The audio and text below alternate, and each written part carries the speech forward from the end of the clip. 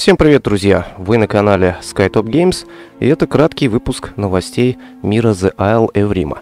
Ну а перед началом я, как обычно, хотел бы поблагодарить всех наших спонсоров канала за вашу месячную поддержку. Спасибо, ребята! Ну что же, наверное, многие из вас уже успели прочитать еженедельные новости от разработчиков, а именно то, что творилось за кулисами в течение долгого времени – и к чему на данный момент мы пришли. Ну а также перед началом хотелось бы поблагодарить в этом выпуске пару людей, которые предоставили некоторую информацию. Это Пинки и Нейкнет. Итак, что же сказал Панч?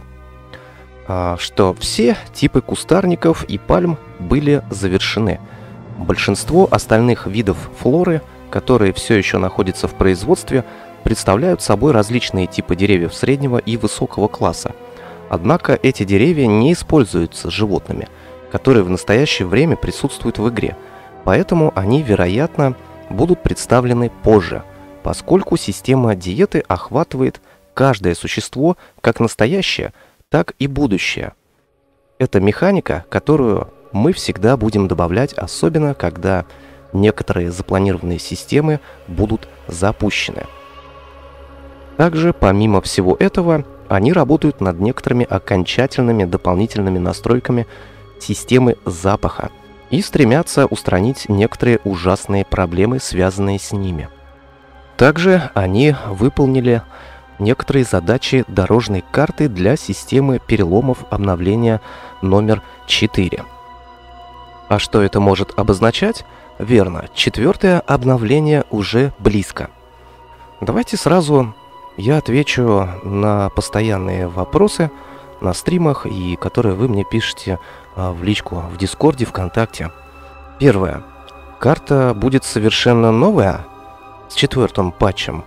А, друзья, карта вида изменится, какой вы ее смогли видеть на Quality Surrounds и не более. Второе.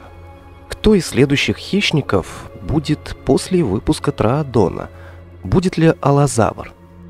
Сто процентов следующим динозавром в игре будет Церата. Алазавр планируется, но не так скоро, как вам хотелось бы. Да, на дорожной карте Алазавр был когда-то, но сейчас там конкретно показан Церата с некоторыми имеющимися механиками – это, наверное, самый извечный вопрос. Полноценно начнет добавляться второй тир, и это только радует. Третье. Почему динозавр в игре появляется без заполненных нутриентов и с малым количеством еды в желудке?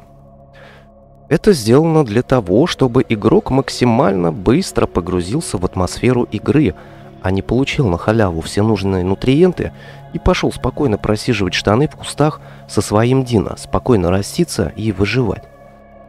В принципе, пока что по вопросам все это самые глобальные, которые задаются мне неоднократно. На этой неделе также нам показали анимацию ослепления Траадона гипсилофадоном.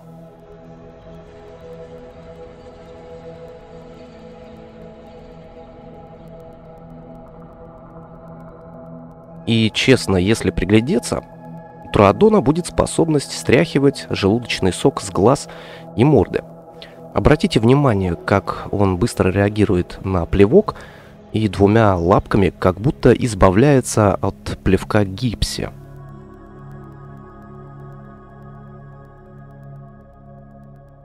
Ну, а теперь максимально попрошу вас примкнуть к экранам.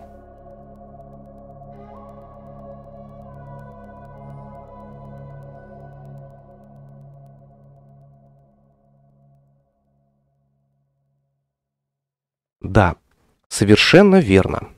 На Quality Surrounds в полную меру разработчики тестят людей. Совершенно верно. Скорее всего, тестят механику, передвижение, анимацию. Нет пока что каких-то определенных скинов людям. Но это не значит, что людей не будет до Нового года. Я могу ошибаться, друзья. Я не разработчик, а всего лишь подаю ту информацию, которая мне известна с источников. Оф Дискорда и самих разработчиков. Ведь как-то Панч уже предупреждал заранее в одном из своих прошлых выпусков, я говорил об этом. Люди в игру выйдут недоработанными в первых патчах. Не ожидайте увидеть что-то сверхъестественное. Это сделано для того, чтобы игрок смог понять хотя бы на первое время, как будут выглядеть люди в игре и представить примерно какой будет геймплей с ними. Ну что же, это, конечно, все интересно, ну а теперь давайте расслабимся и посмотрим на следующие интересные кадры, которые, возможно, уже кто-то видел. Ведь мир Isle of Рима очень узок, так же как и контент стримеров и ютуберов – Информация, может э, быть, где-то уже была, но вот на нашем канале точно нет.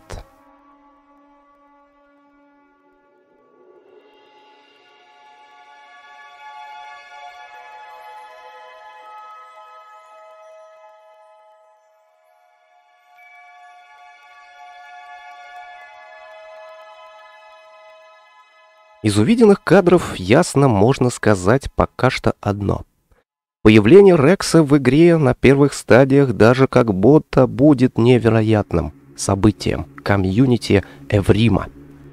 Но а теперь хочу дать внимание вашим ушам на получение расслабления от будущих криков Трайка и Акрокантозавра в игре.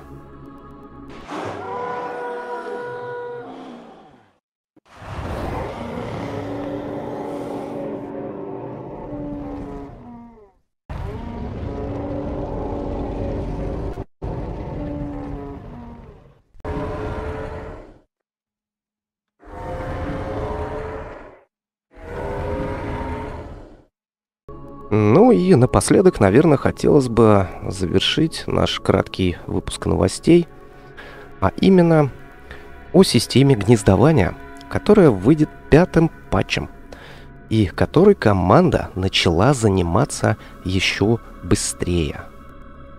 Примерные кадры, которые вы сейчас увидите, возбудоражат наши умы и сердца любителей мира Эврима –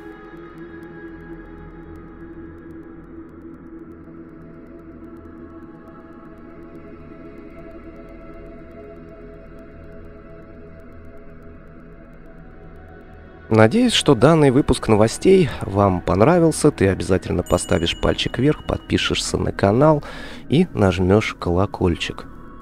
По поводу последнего подписки, друзья. А, по статистике я заметил, что около 40% смотрящих наши выпуски новостей смотрят без подписки. Обязательно, обязательно подпишитесь. Ведь это огромный стимул для нашего канала снимать для вас больше интересных новостей и видео, проводить больше стримов по Isle Legacy Эврима. Пока что в мире Isle Эврима ничего сверхъестественного не происходит. Мы все находимся в ожидании чуда выхода обновления номер 4, 4 и 5. Поэтому следите за каналом, где вас в дальнейшем будет ждать еще больше информации по Эврима. Всем приятного выживания. Всем пока-пока.